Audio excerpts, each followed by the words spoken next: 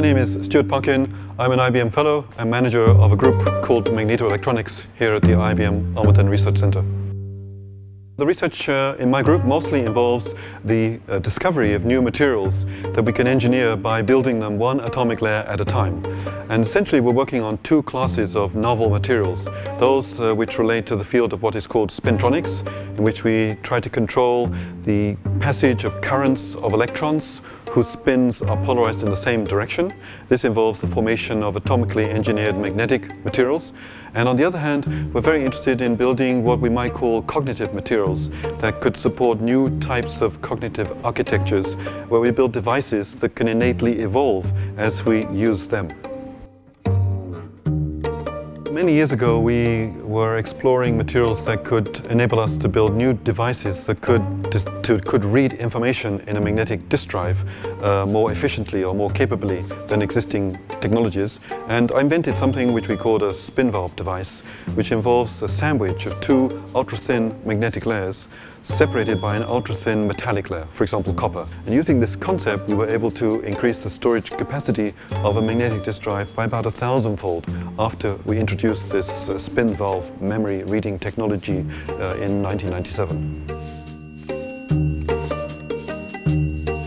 So uh, if one looks at magnetic disk drives, then it's a spectacular technology that IBM invented in the mid-1950s. And it has evolved over the last half century in enabling its storage capacity to increase by about a billionfold in that time. Nevertheless, it has some limitations, and in particular, because it involves a rotating mechanical disk uh, above which a device is used to read and write information, this limits the ability of these devices, to, for example, to withstand shock. Moreover, they're pretty slow because it's impossible to rotate a, a heavy disk very quickly. So what we've come up with, we devised a new technology which I called racetrack memory, that could enable us essentially to compete with magnetic disk drives in their low cost and to compete with existing memories in terms of performance and reliability.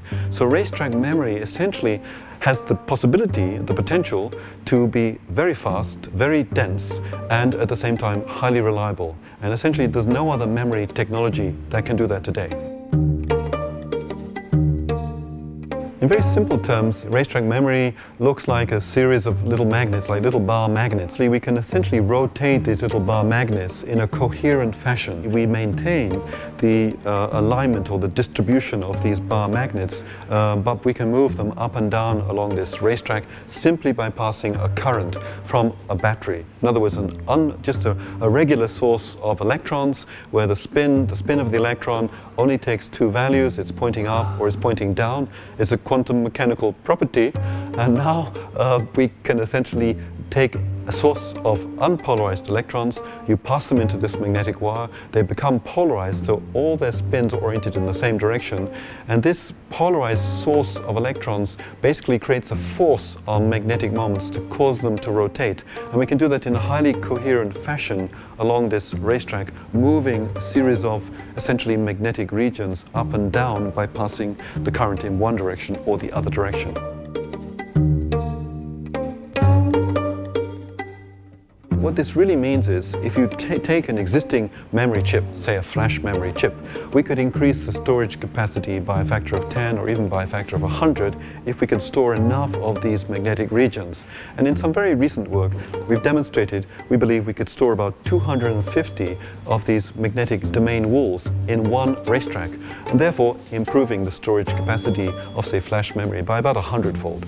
This would be a remarkable improvement, and we do that whilst being perhaps a million times faster than flash memory and being totally reliable. Flash memory has a very important limitation that you can only write flash memory perhaps a hundred or maybe a thousand times before you destroy the cell. In racetrack memory, there is no such problem. Basically, the, the memory elements would retain their memory forever, we believe. As compared to a magnetic disk drive, it has no moving parts since it's about a million times faster. Racetrack memory, as compared to flash memory, again has no wear-out mechanism, so the memory elements can be written indefinitely, and it's about the same cost as flash, or perhaps even as much as 10 or 20 times cheaper than flash. Therefore, racetrack memory could enable us to build computing systems that are much more compact than is possible today. We could eliminate nearly all forms of conventional solid-state memory and the magnetic disk drive have one universal memory that would enable us then to build much more smaller, more compact and uh, highly efficient computing devices. Senses that we're going to lead the flow of traffic to the left, makes the lane change, it initiated the turn.